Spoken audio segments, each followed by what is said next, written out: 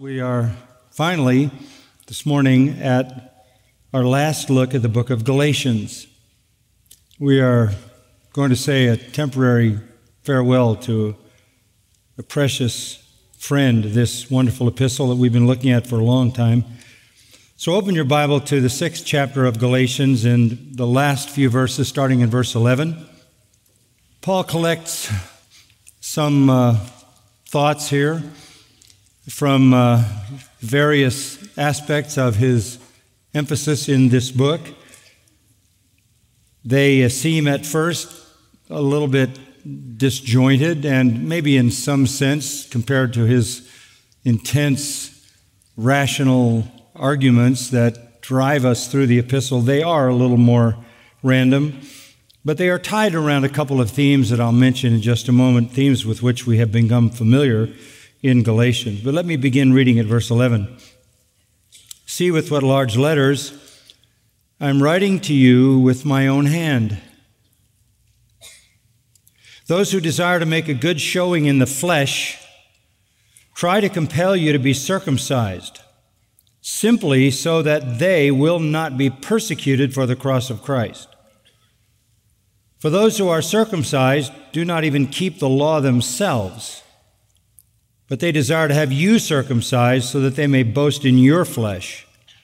But may it never be that I would boast except in the cross of our Lord Jesus Christ, through which the world has been crucified to me and I to the world. For neither is circumcision anything, nor uncircumcision, but a new creation. And those who will walk by this rule, Peace and mercy be upon them and upon the Israel of God. From now on, let no one cause trouble for me, for I bear on my body the brand marks of Jesus. The grace of our Lord Jesus Christ be with your spirit, brethren. Amen.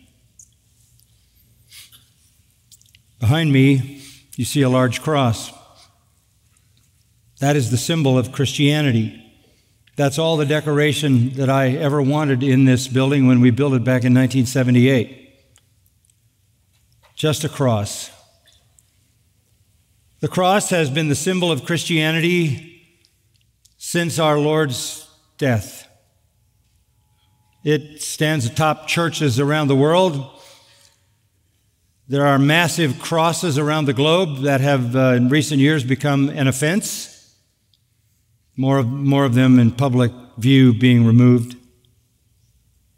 But the cross descends from the top of churches all the way down to people's necks.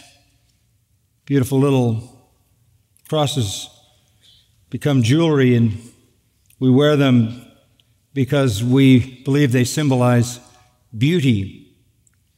It's an odd thing because no one has a guillotine around their neck at least not as jewelry. I don't think there's any other torture instrument that's ever been invented by man that someone wears as jewelry or as some kind of adornment or conceives to be beautiful. But that's what happens with the cross. The cross may be the most heinous and horrendous and horrific of all torture instruments ever devised by man should be a symbol of shame, but it has become a symbol of love and joy and peace and beauty and grace and eternal salvation. And that is on its face odd for a torture instrument to end up so considered. Crucifixion was originally designed by the Persians who became skillful at using it as a way to execute people in a very long, drawn out, torturous way. But it was really perfected by the Romans, who crucified tens of thousands of people. And in fact, some historians tell us that as many as 30,000 people were crucified by the Romans in and around the land of Israel around the time of our Lord. So the Jewish people were used to seeing people hanging on crosses in some part of the process of excruciating bleeding and suffocation. The word excruciating actually has Latin roots, and in the middle of it is crux, which is the Latin word for cross. So the very verb to excruciate or excruciating has in its center the cross. The cross defines what is excruciating. It was not only an instrument of physical torture, but it was also a tool of degradation. To be suspended uh, on high along a public highway, totally naked, nailed by hand and foot, and left to bake in the sun while the gawking crowds looked up, to be attacked by birds and insects, and end up as a kind of roadkill was about as degrading as anything that could ever be done to a human being the Romans basically quelled potential revolt by making sure the roads were lined with crucified victims. The cross then was a diabolical device to torture criminals to death, with the exception of one cross. One cross was a divine device to deliver sinners from death, and endless torture. That is the cross of the Lord Jesus Christ. And we rejoice in that cross. We write songs like At the Cross and Near the Cross and the Old Rugged Cross and the Wonderful Cross and Hallelujah for the Cross. And as one we sung earlier, the power of the cross. We heard the choir sing, When I Survey the Wondrous Cross, goes back to Isaac Watts in 1707, and he wrote it after reading Galatians 6:14. And the Christian gospel cross is not mythical and it's not mystical and it's not sentimental and it's not merely artistic, it is historical and it is real. And the Bible gives the history of that one cross that has become a symbol of beauty.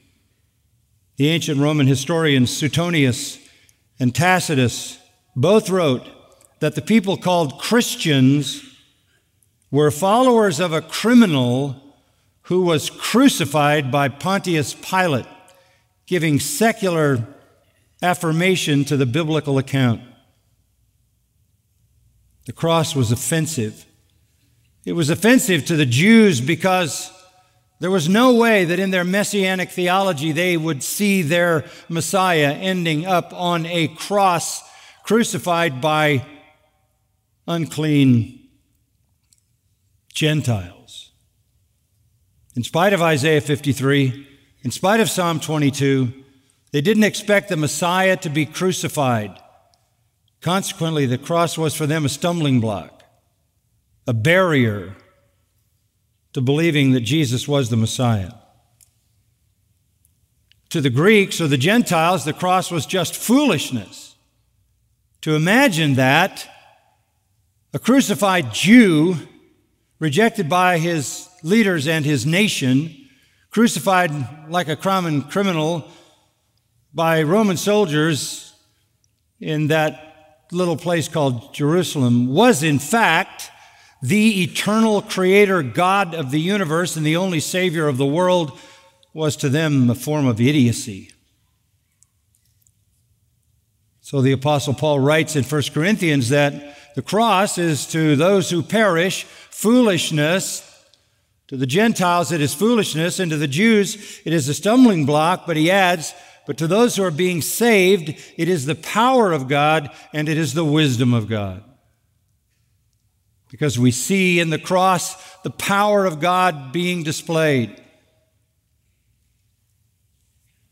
Power to crush his own son with our sins, to fully expel all divine wrath against all who would ever believe through human history.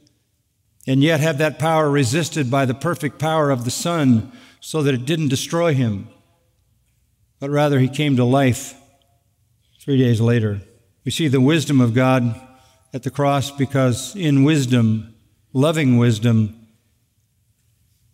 he put our punishment on the suffering Savior.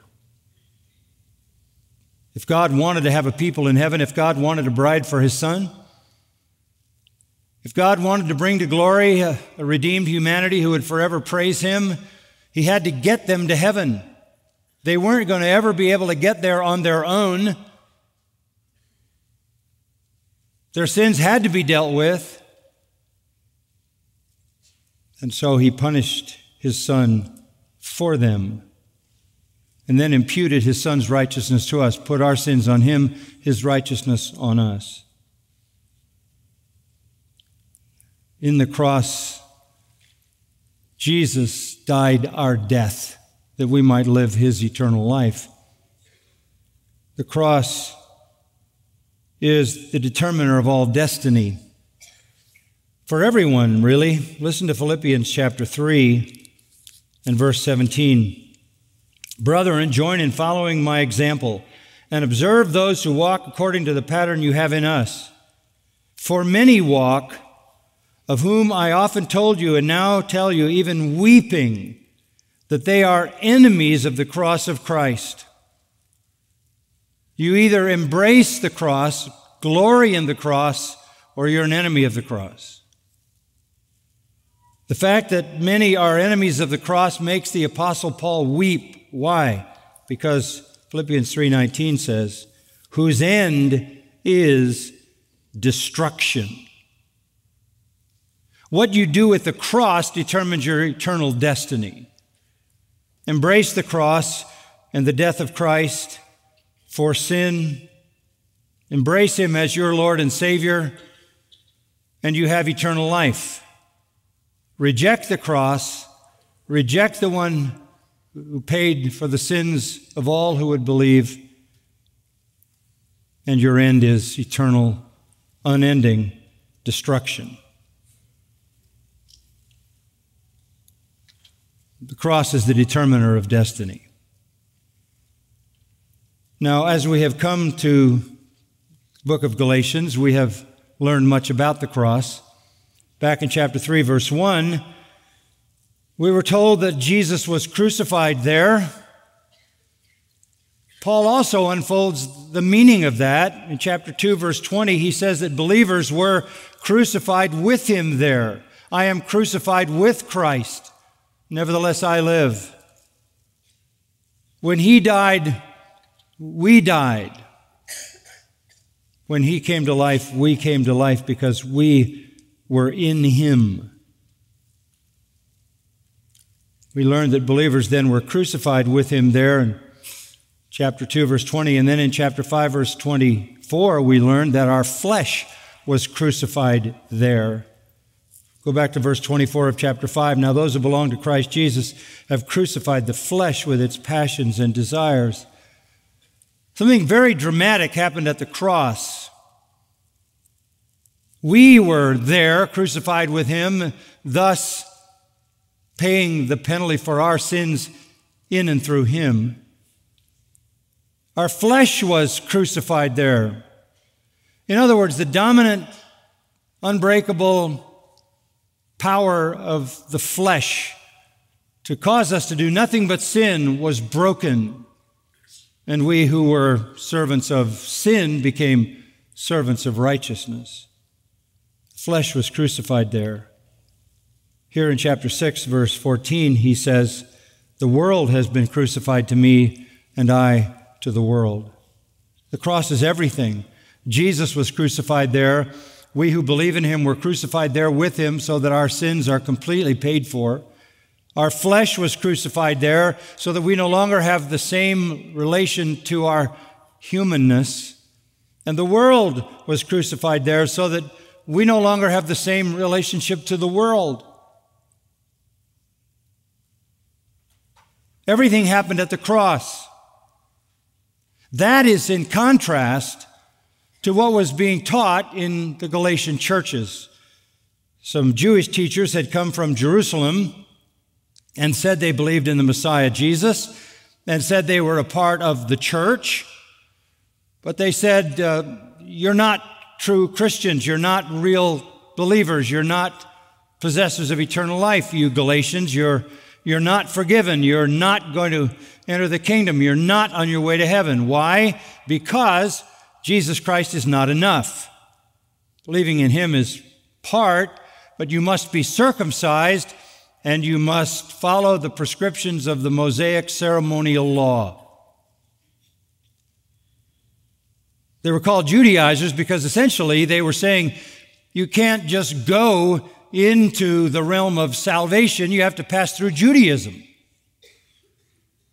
And even Gentiles were required to be circumcised and adhere to the Mosaic law. So they believed that you were saved by works as well as by believing in Jesus. That's a false gospel. In fact, it's so false that Paul says in chapter 1, verse 6 I'm amazed that you're so quickly deserting him who called you by the grace of Christ for a different gospel, which is really not another, only there are some who are disturbing you and want to distort the gospel of Christ but even if we or an angel from heaven should preach to you a gospel contrary to what we have preached to you, he is to be accursed or damned. As we've said before, so now I say again, if any man is preaching to you a gospel contrary to what you have received, he is to be accursed, anathema, damned. And a false gospel is saying yes to Christ, but Christ is not enough. Uh, it's, it's just as false as saying no to Christ. You can deny Christ or you can accept Christ and add works and you end up with the same damning message. You can't come by the law. Chapter 3, Paul made that clear. He said, All the law does is curse you. Verse 10 As many as are of the works of the law are under a curse. You want to come by way of the law? All it does is curse you. It doesn't save you. Cursed is everyone who doesn't abide by all things written in the book of the law to perform them. If you want to come by law, perfect adherence to the law at all times is required. Therefore, no one is justified by the law. It's impossible. The righteous man lives by faith. Christ, verse 13, redeemed us from the curse of the law, having become a curse for us. He became the curse on the cross. There are only two possible roads to heaven, to God. Two gates, two ways, two religious paths. One is the religion of human achievement. You earn your way by your morality, by your goodness, by your religiosity, by ceremonies, rituals, rites. This is the religion of human achievement. You have to do something. And this, by the way, is the category in which all false religions on the planet fit. They're all just different forms of the religion of human achievement. And since um, if you break one law of God one time, as James says, you're guilty of violating all of it and you're cursed, there's no hope for those people who come that way. The other is the true religion of divine accomplishment, where everything is done by God and it's offered to us by grace and received by faith, not works. That's what Paul's been dealing with throughout this letter.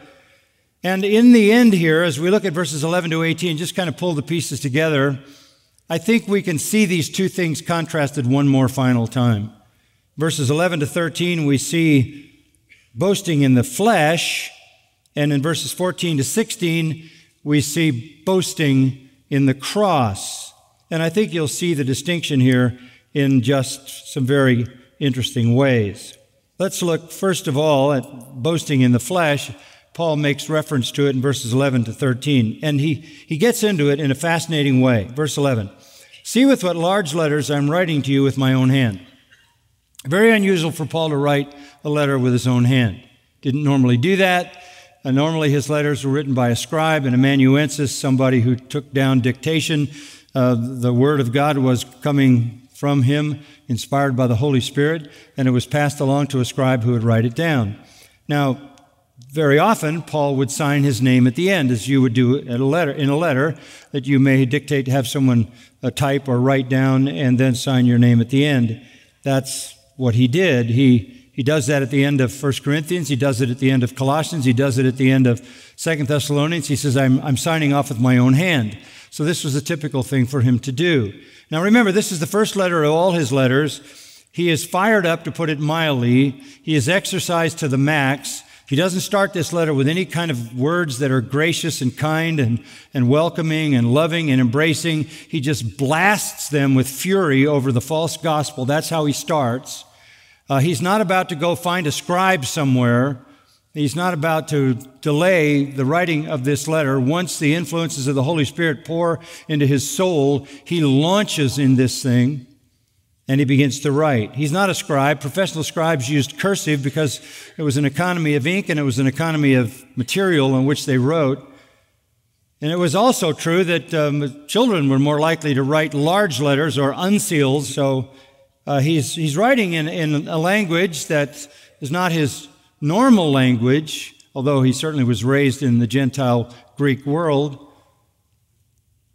But he writes large letters. There may be another reason he writes large letters. If you will recall back in chapter 4, verse 13, back in chapter 4, verse 13, he says this But you know that it was because of a bodily illness that I preached the gospel to you the first time. It, it literally in the, in the Greek, it's, it's, a, um, it's a physical weakness, some, some physical infirmity.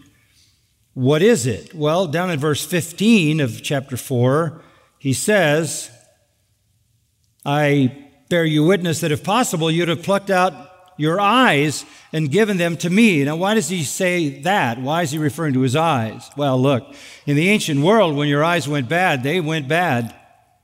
There was no way to correct that. And I think Paul is saying, You loved me enough to have given me your good eyes if it were possible.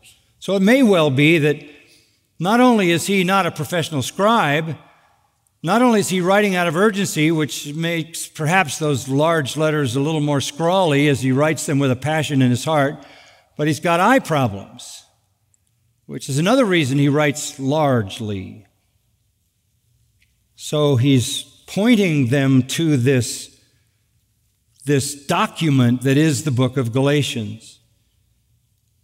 And it's perhaps unattractive. It's not professionally written. It doesn't look like something a hired scribe would do. It looks very amateurish.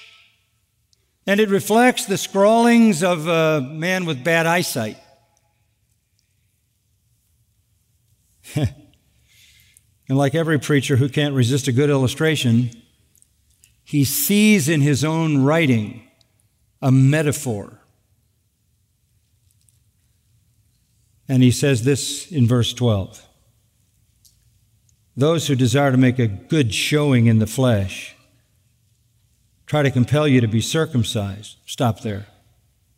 Concern about the looks of something, concern about the professional character of it, never is Paul's issue. In 1 Corinthians 2, he said, I didn't come to you with superiority of speech or fancy words. 2 Corinthians 10, they said about him his speech was contemptible. In a world that prized oration, he was a, he was a seed picker, they said. He was a low life. He wasn't the professional scribe. He wasn't a high sounding orator. He didn't come with men's wisdom. That's what enamored them. Paul is looking at his letter and saying, Because of my poor eyesight, you know how hard it is for me to write with my own hand. But what I have to say is so important and so urgent, and I, I couldn't wait, and I didn't have any help. And so I went ahead and wrote. And unlike the Judaizers who would care about the looks of something, I don't care at all about the looks of anything. I've never tried to impress you with my scholarship, my personal skills, superficial formalities. When I came to you, you accepted my message with gladness, although my bodily presence was unattractive. And this letter is not written in an attractive way either, but it is the truth, and it is the gospel, and it is from God.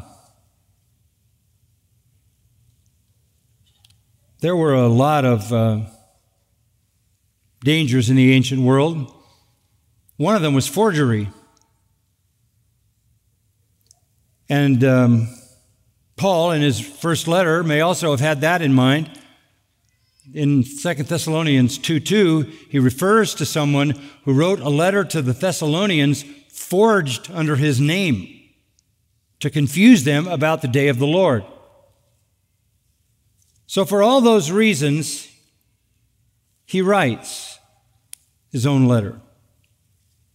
And he couldn't care less about the show. That's never been important to him. And with that, he introduces again the Judaizers boasting in the flesh. Verse 12 those who desire to make a good showing in the flesh. This reminds me of them, those who preach the false gospel. This is a fatal blow at the Judaizers. He's done with doctrine, he has dismantled their doctrine, and now he wants to say a few things about their motives. Why do they do what they do? Motive number one is pride, to make a good showing in the flesh. That's what legalists do. They show off. I've said this uh, sometimes through the years. Seems to me that the more paraphernalia they wear, the more they declare their hypocrisy. The more it's for show, the less it's reality. They make a good showing in the flesh. They want to make an outward impression of being holy and virtuous. This was a way of life for legalistic Jews. It's a way of life for pious people in false religion. With the Jews, back in Matthew 6, when our Lord was giving the Sermon on the Mount, he said, um, You are full of pride. Your pride is seen in your giving. You blow a trumpet before you put your offering in. Your pride is seen in your praying. You make a public display of your praying. Your pride is even seen in your fasting as you look sickly. All of this to draw some kind of attention to yourself. In Luke chapter 16, several passages in Luke speak directly to these Jewish people who were caught up in proud religion. The Pharisees, Luke 16, 14, who were lovers of money were scoffing at Jesus, mocking him. He said to them, You are those who justify yourselves in the sight of men. There it is. You justify yourself in the sight of men, but God knows your hearts. For that which is highly esteemed among men is detestable in the sight of God. You're, you're proud self promotion is detestable to God. Chapter 18 Two men went into the temple to pray, one a Pharisee, the other a tax collector. The Pharisee stood and was praying like this to himself God, I thank you that I'm not like the other people, swindlers, unjust, adulterers, or even like this tax collector. I fast twice a week. I pay tithes of all that I get. That, that was what Pharisees did in the 20th chapter of Luke and verse 45, the people were listening. Jesus said to his disciples, Beware of the scribes who like to walk around in long robes, love respectful greetings in the marketplaces, chief seats in the synagogues, places of honor at banquets, who devour widows' houses, and for appearance's sake offer long prayers, these will receive greater condemnation. The greater your spiritual pride, the greater your eternal condemnation. You'd be better off to be irreligious than to be proudly religious.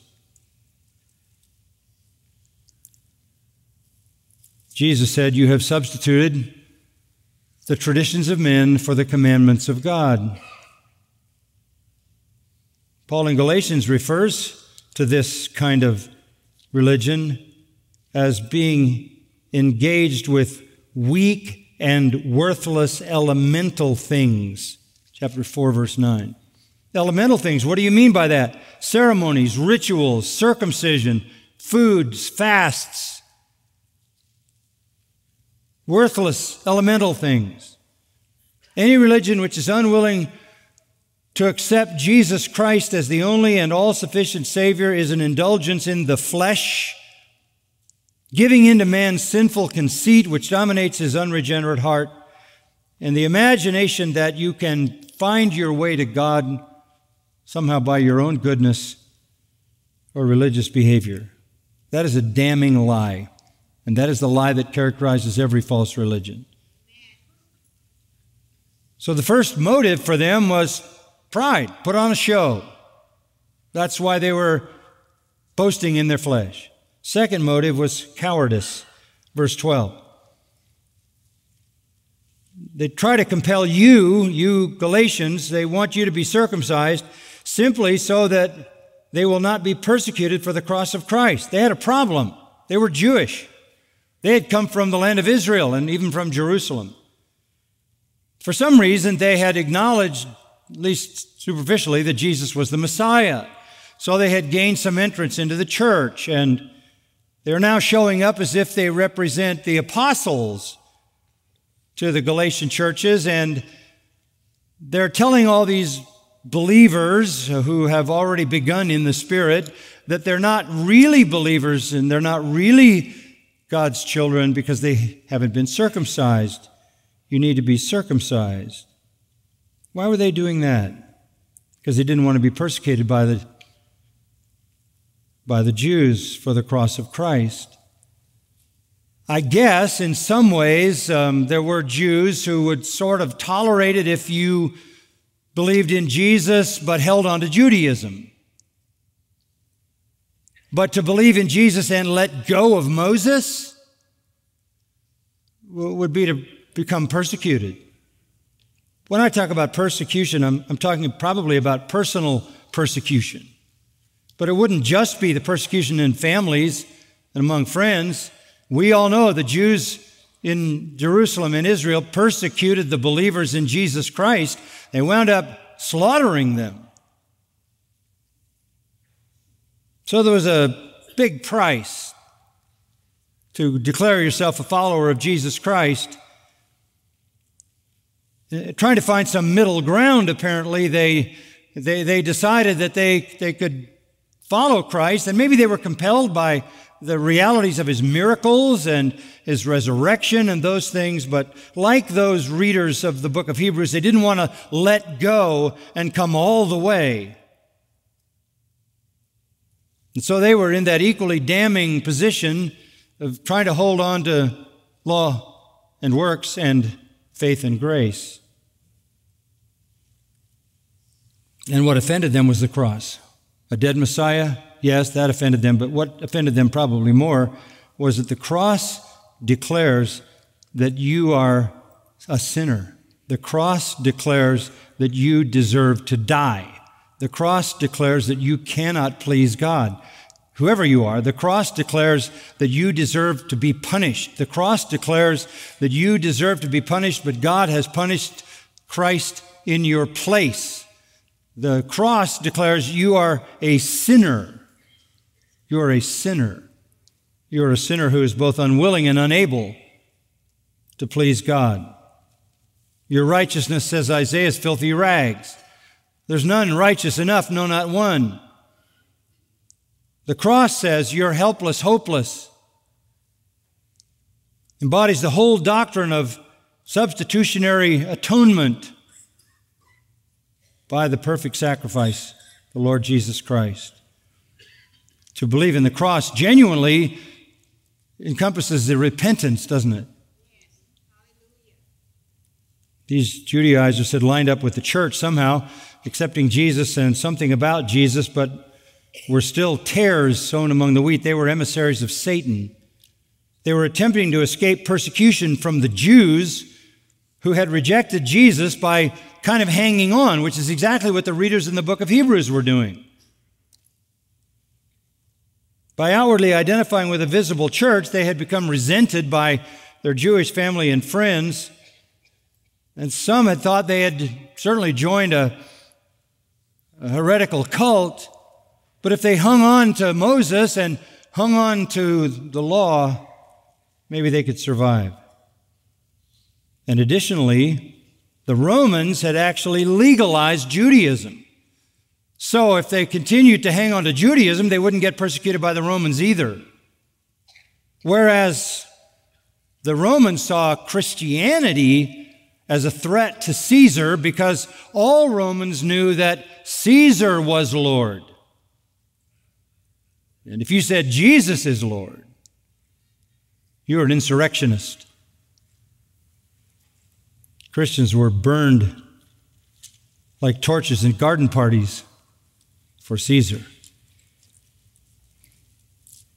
So, proud religionists are also cowardly they held on in order to escape the persecution that comes to those who abandon themselves to the gospel of the cross. There's a third characteristic that shows up in their boasting in the flesh, and that's their hypocrisy. Verse 13 For those who are circumcised do not even keep the law themselves but they desire to have you circumcised so that they may boast in your flesh. They want to show you off like some kind of convert when they can't even keep the law themselves. They are phonies. They may be super zealous, they may be fastidious, they may go through the rituals and the rites, wear all the garb and the garments, and never miss an assembly of people gathered for some ceremony, but they can't keep the law. They want you to keep the law. They can't keep the law. Nobody can keep the law. That's why our Lord in Matthew 23 said they're white sepulchres. They're, they're painted white like a tomb on the outside. Inside, they're full of dead men's bones. They're complete hypocrites. In Romans chapter 2, verse 17, Paul says, If you bear the name Jew and rely on the law and boast in God and know His will and approve the things that are essential, being instructed out of the law, and are confident that you are yourself a guide to the blind, a light to those who are in darkness, a corrector of the foolish, a teacher of the immature, having in the law the embodiment of knowledge and of the truth, you therefore, speaking to those Jews who felt that way, you who teach another, do you not teach yourself? You who preach that one shall not steal, do you steal? You who say that one should not commit adultery, do you commit adultery? You who abhor idols, do you rob temples? You who boast in the law, through your breaking the law, you dishonor God. This is characteristic of all false religionists. They parade their superficial morality, and God knows they are lawbreakers and nothing more. Pride, cowardice, hypocrisy come together to define people in false religion. Paul saying to the Galatians, you don't want to be a part of that. You don't want anything to do with that. They don't want the cross because nothing in the history of the world cuts down human pride like the cross. It pops the balloon of the inflated ego. At the foot of the cross, we shrink to true size. And sinners don't like that. So Paul says, as he looks at his scrawling letters, they remind me of those who have corrupted you for show, boasting in the flesh. On the other hand, second point, he will boast only in the cross. Verse 14 May it never be that I would boast except in the cross of our Lord Jesus Christ. This is the religion of grace. He will be broken at the foot of the cross. He will be made small at the foot of the cross. He will be cut down by the cross. The cross says you can't save yourself. The cross says God had to save you by offering his own son, placing your sins on him, punishing him in your place. You deserve hell. The Father gave that hell to Christ in three hours of darkness. May it never be, he says, may genoito in the Greek, which is the strongest negative idiom in the Greek language, sometimes translated God forbid. No, no, no, no, not possible that I would boast except in the cross of our Lord Jesus Christ.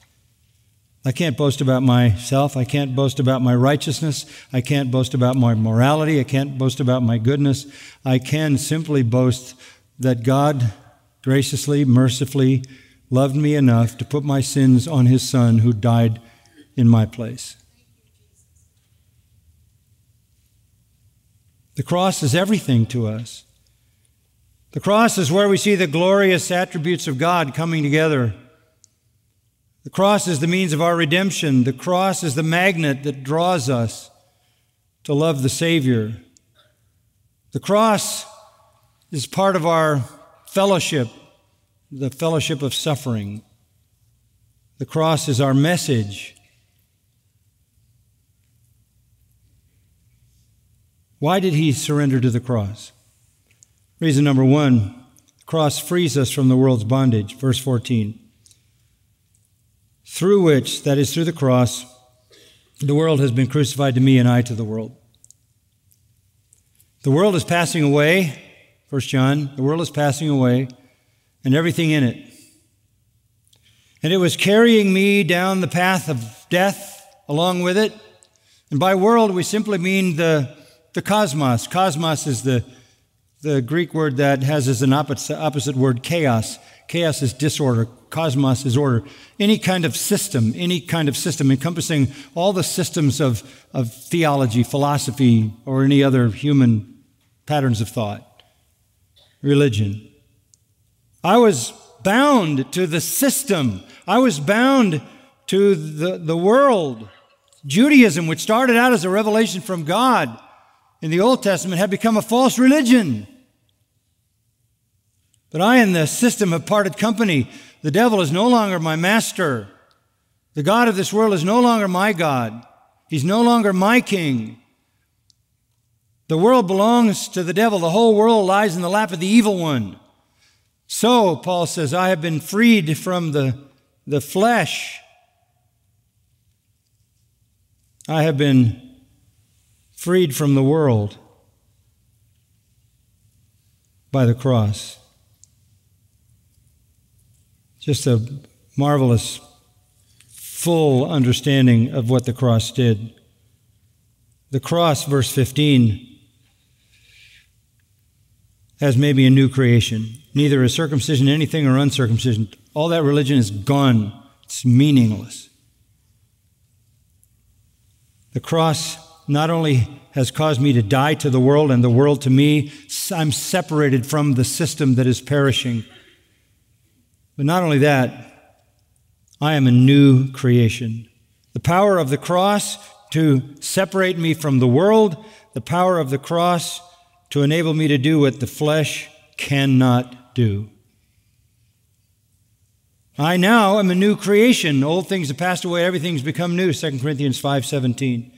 The frustration of religious self effort, the frustration of works is gone. The frustration of being incapable of getting to where I wanted to go, no matter how religious, is all gone. I'm a new creation. In the language of John, I've been born again. I died to the world. I died to my own flesh. I'm a new creation. I have a new heart.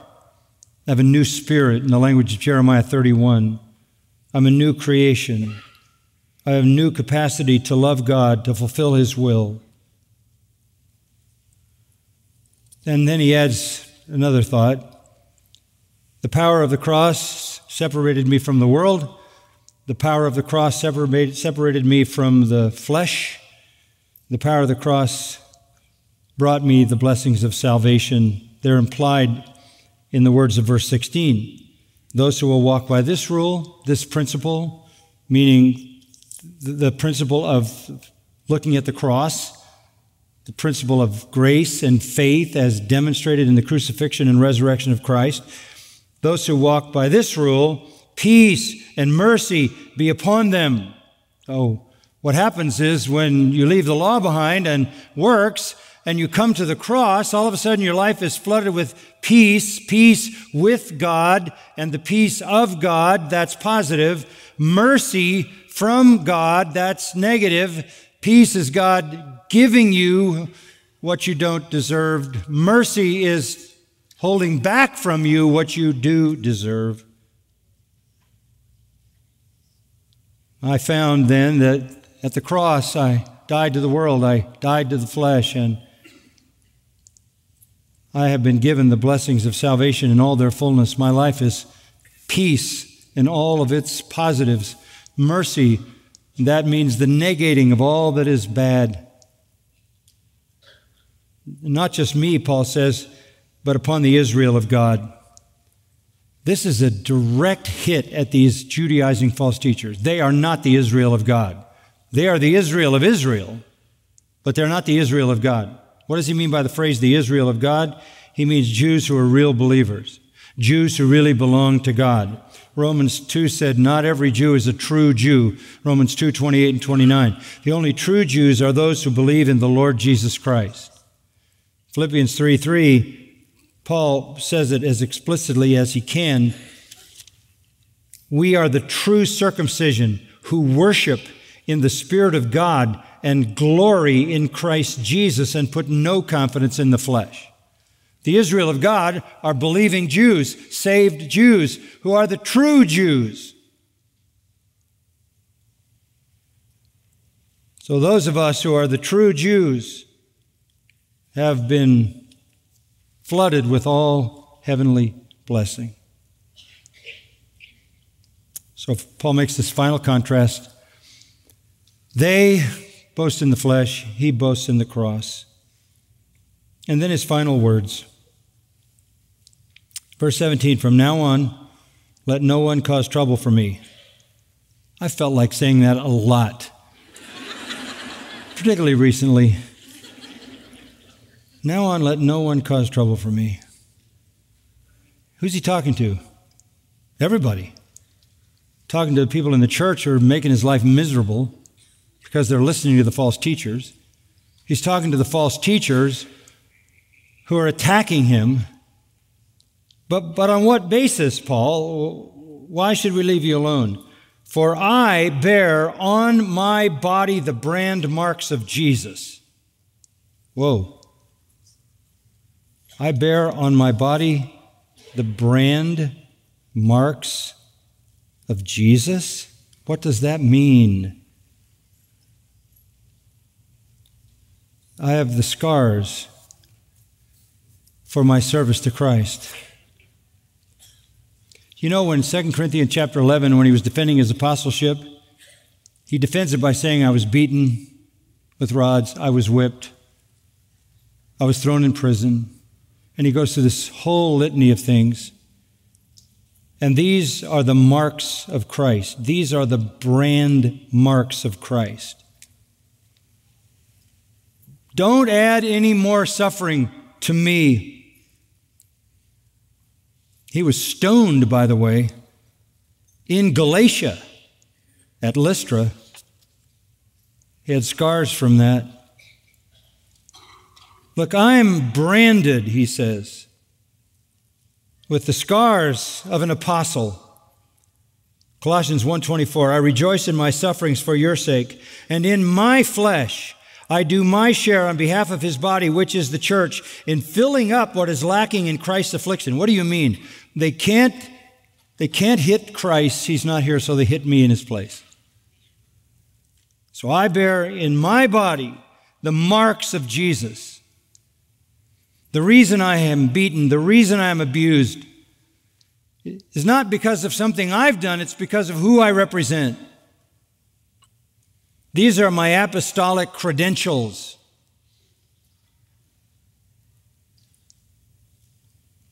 Don't question my authority. I have the marks of Jesus. In the ancient world, slaves were branded. In the ancient world, um, criminals were branded as a mark of identification for life. In the ancient world, soldiers were branded to demonstrate their allegiance. Religious devotees were branded. And people who were hated, vilified, social pariahs were branded. Paul says, I'm all of that. I'm a slave of Christ, a soldier of Christ, devoted to Him. I'm a criminal as far as the world is concerned, and I'm hated because I have Jesus branded on me. Every scar he ever got was a brand, a brand for Christ. These are the scars of Jesus. Don't trouble me. I represent him and I have the scars to prove it. And then a final farewell. The grace of our Lord Jesus Christ be with your spirit, brethren. Amen. And so say I. Let's pray.